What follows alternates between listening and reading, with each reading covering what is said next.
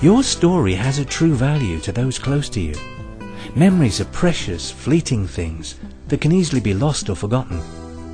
This is the perfect opportunity to capture your life and all that it means to you and your family and preserve it for generations to come.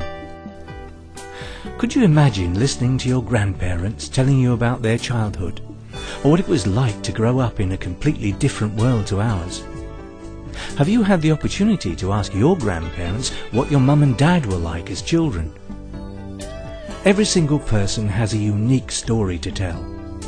You may have sailed round the world single-handed, or travelled across Australia on a bicycle. Or you've lived a quieter life and worked hard to bring up your family to give them the opportunity to follow their dreams. We know from experience that the journey that you will take back through your life will be like nothing you've experienced before. It's an amazing feeling and it will give you a whole new perspective on life and the future.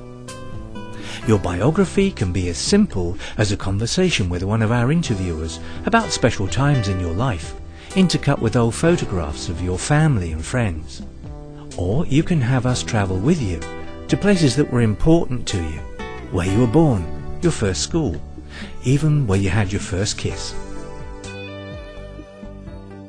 In 1939, I remember quite vividly the uh, beginning of the war because German aeroplanes, the bombers, used to fly into England via Seaham and out the same way after dropping the bombs on Tyneside and Wearside. Um, it wasn't a very nice experience because I remember on one occasion the uh, the German bomber had, um, was getting rid of his bombs and his ammunition prior to going back to Germany by just strafing the street and dropping bombs on Seaham to get rid of them.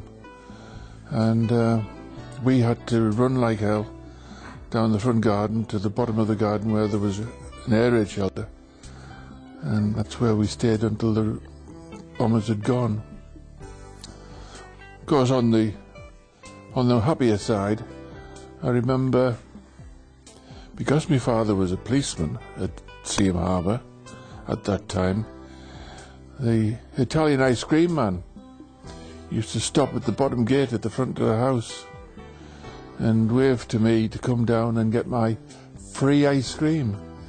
Because, eh, as I said, my father was a policeman and everybody wanted to keep in, keep in with him. The choice is yours. But there is one thing that is certain. You will leave a precious legacy of priceless memories to your family for generations to enjoy.